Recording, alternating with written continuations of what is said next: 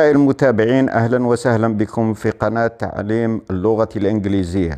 هذه القناة وضعت خصيصا للمهتمين بالنحو الإنجليزي بحيث يتدرجون من الجملة البسيطة إلى كتابة فقرة ذات معنى.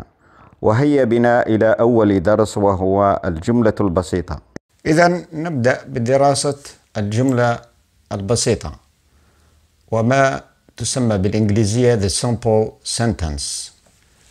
وهي تتكون أساسا من ثلاثة عناصر هامة. العنصر الأول وهو ال subject والعنصر الثاني وهو ال verb والعنصر الثالث وهو ال object ال subject معناه بالعربية الفاعل وال verb معناه بالعربية الفعل وال object معناه بالعربية المفعول. فإذا جمعناه بهذا الترتيب واحد زائد اثنين زائد ثلاثة يعطينا جملة بسيطة ويرمز له باللغة آه، اللاتينية أسفيو. ونعطي مثال على ذلك وهو علي a picture ومعناه بالعربية علي رسم صورة.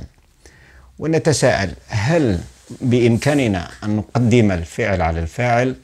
في الجملة البسيطة بالإنجليزية لا يمكن فعل ذلك وهل تكون الجملة آه، البسيطة متكونة من عنصرين؟ نعم هي تتكون من عنصرين بحيث يكون الفعل لا يتعدى إلى مفعول ومثال على ذلك he comes وهل تتكون الجملة كذلك من فعل فقط؟ نعم تتكون من فعل فقط وهذا عندما آه، نستعمل الإمبيراتيف أو ما يسمى بفعل الأمر. ومثال على ذلك write down go stay here and so on.